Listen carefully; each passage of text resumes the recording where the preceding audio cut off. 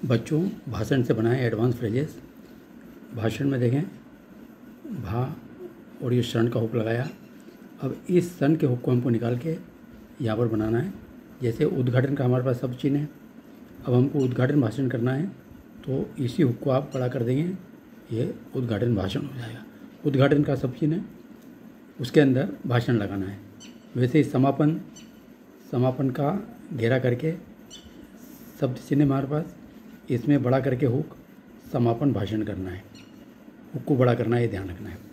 उसी तरीके से अपने भाषण में अपने का शब्द चिन्ह हमारे पास, इसी हुक को आप बड़ा कर दें, अपने भाषण और में लगा दें। मेरे भाषण, मेरे का शब्द चिन्ह, इसी में शरणुप लगा के में लगा दें। आपके भाषण में आपके का शब्द चिन्ह, इसी में आपके भाषण में कर दें।